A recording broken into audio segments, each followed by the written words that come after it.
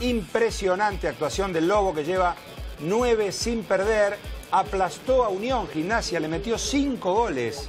Dos hizo Unión. Un Sí. 5 a 2 que sorprende a todos realmente. Sí, por la goleada, pero eran dos equipos que venían de rachas positivas. Sí, exacto. Gimnasia sumaba ya siete partidos sin perder, por el lado de Unión eh, eran cinco. Para, para Gimnasia tal vez, tal vez la duda de lo que fue el arranque del campeonato. Bueno, la, la extensión del vínculo con Pedro Troglio ya fue una buena noticia en esta semana. Está desde septiembre de 2011 Troglio sentado en el banco de suplentes de Gimnasia. Sí, mirá el primer gol de Ignacio Fernández, un Le- jugador salido de las divisiones inferiores. Exacto. De brillante paso por Temperley en la B Metropolitana del 2011-12.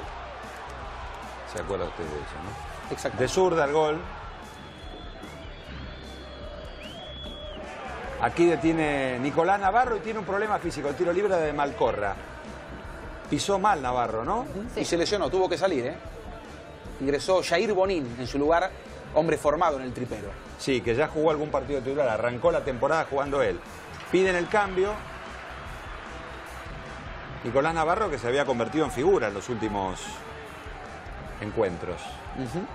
Entra Bonin, que no tiene nada que ver con Arturo Bonin. Va a llegar el segundo gol del Lobo, 17 minutos el uruguayo. Con ese cabezazo Álvaro Fernández para el 2 a 0. Nereo fue arquero de gimnasia, ¿no? Nereo Fernández fue arquero de gimnasia. Sí, señor. ¿Cuántos. Fernández tenemos en la cancha? Tres por lo menos. A Nacho Fernández. Álvaro y Nereo. Ahí está el No está el. Jair Fernández, ¿no? No, ni Fabio ni Fabián. Exacto. Ni Fabián, digo. Otra vez el gol. Ahora esto, La polémica. la tarjeta roja para Leonardo Sánchez, Sí. expulsado en expulsado. gimnasia. Por el codazo. ¿Fue codazo o fue manotazo? A ver. Bueno, un combo. Sí. Desde donde estaba el árbitro probablemente parecía a codazo. Y a los 20 de esa posibilidad, el tiro libre de Ignacio Fernández. El Pucho Berzottini que no puede convertir. Llévatelo a tu casa, diría la gente de la tribuna. Mirá cómo Mirá le quedó la camiseta al paraguayo Rojas. Se la rompió Fausto Montero. Fausto Montero. Todavía en el primer tiempo, Gran partido de Nacho Fernández, ¿eh? sí, Remata, encara. Encara y después remata. Claro. claro. Antes de que termine el primer tiempo, va a convertir el tercer gol gimnasia. Hay que hacer tres goles en un tiempo en el fútbol de hoy, ¿no? Es muy difícil. El centro va a ser de Maximiliano Mesa tras el desborde. Y Jorge Rojas la empuja. 3 a 0 para el Lobo. Partido liquidado, diría usted, ¿no? En el fútbol de hoy no me animo. Ah, En otro momento por ahí sí. está lleno de cobardes el fútbol también. Pero tiene está. razón Juan Pablo, porque se le va a complicar en un momento. ¿Sí? Lo aprendí en una transmisión Mirá el Pirata Sornomás. de Belgrano de. Córdoba. Que lo incluyó, ¿eh? Una transmisión Platense Vélez, ¿puede ser? Ah, también. ¿Un 4 a 4? Exactamente. ¿Lo digo o no lo digo? Claro. Muy bien. Hasta aquí llegaron las chispas. Troglio que no puede creer cómo no fue gol. Jugó al offside, gimnasia jugó mal. La pelota pasa entre las piernas de Bonín y descuenta Lucas Gamba. Lucas Gamba, el mendocino, ex independiente Rivadavia, 1-3. El tiro libre había sido de Nacho Malcorra. Sí, uno de los mejores ejecutores de tiros libres que tiene el fútbol argentino.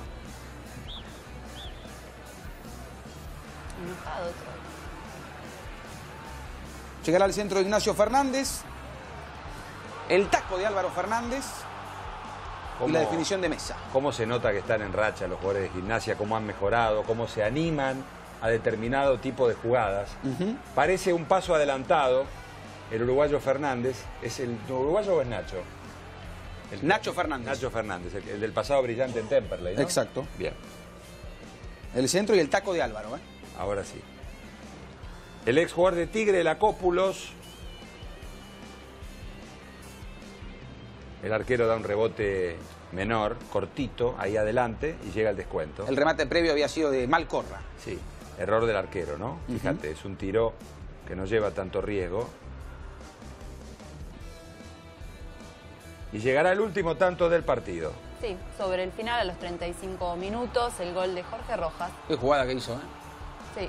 Gimnasia trepado al sexto puesto con 23 puntos. Sí, se gran campaña. Belgrano. Sí, gran bueno, había sorprendido Belgrano ganándole en Córdoba 1 a 0. Le había ganado ajustadamente al conflictuado Quilmes.